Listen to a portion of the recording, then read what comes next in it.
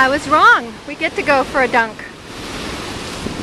There's Fox's Landing where the sand is, and then there's the current flow.